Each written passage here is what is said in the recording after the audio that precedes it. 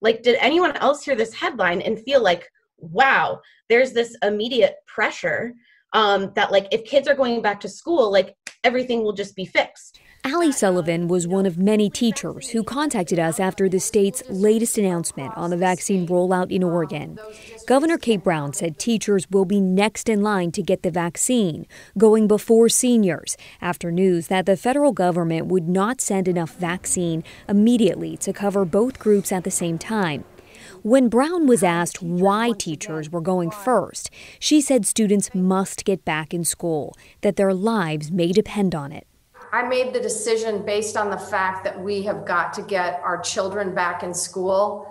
I know of families where 12 and 13 year olds are committed, su- committing, su- attempting suicide. Um, I talked with um, the CEO and president of Salem Health on my vaccination tour this week. Um, she is hearing of many 11 and 12 year olds attempting suicide. We know that um, our schools are a place of social interaction. Um, they're a place where um, young people, students can get their uh, behavioral health and emotional supports met. Allie said while she was grateful educators were getting the vaccine, she and her colleagues do not have the training to help students thinking about suicide. How much unintentional harm actually comes from people thinking they're doing the right thing by pushing children back as soon as possible. But like no regard for like do all of our teachers need to have training to be able to handle children coming to school that are suicidal or depressed? Because i don't have that. Like i don't have any of that support to, to make sure a child who is dealing with those kinds of very important and serious and valid things that's not going to be fixed at school not by me the Oregon Education Association, the state's largest teachers union, agrees. They said teachers needed this training and students needed help before the pandemic.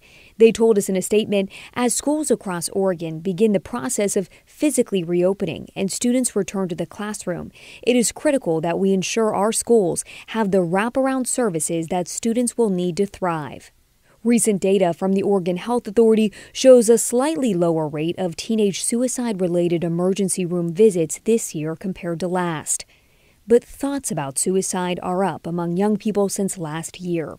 The CDC reported this summer as many as one in four people 18 to 24 seriously considered suicide in the 30 days before the survey. And according to Lines for Life, a suicide prevention group in Oregon, calls to their youth hotline are up 38% from March to the end of 2020 for a variety of reasons. We've heard from kids struggling in Oregon and Washington.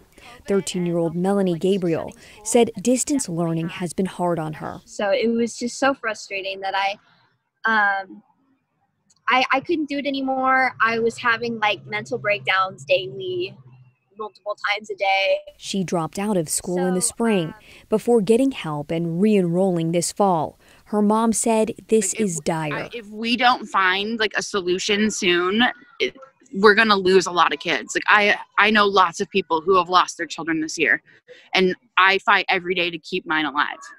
So someone really needs to do something about this. It's a real problem. But teachers like Allie question if they are prepared to help these kids in the right way once vaccinated and back in class. I think it's it's a lot of guilt around feeling like am I important enough? Am, is my health priority enough? And it's such a murky answer and and I guess that's why the emphasis that Governor Brown has chosen to put on children's mental health um, felt like, wow, this is a super simplification because many of us are cutting the line for seniors, which feels awful. And then when we get back, it's like, you've got the vaccine, so we should, this should be fixed now. And it was really messy to get there. The number for the National Suicide Prevention Hotline is 1 800 273 8255, and that is available 24 hours a day. I did reach out to Governor Brown's office about this. Spokesman Charles Boyle told me, well, he sent me a long statement, and it says in part, quote, it's absolutely critical that we return Oregon students to in-person instruction as quickly as possible. When they are with students in the classroom, teachers, school-based health professionals, and other educators are often the first to notice and identify when a student needs help. He said, and to connect that student with behavioral health services. Many schools also have counselors, school psychologists, and other specialists on site who can engage with students and their families when school buildings open. It's definitely a complex issue and it is not easy. What do you think about this? We want to know. Give us your thoughts. Give us your opinion. Just use the hashtag HeyDan.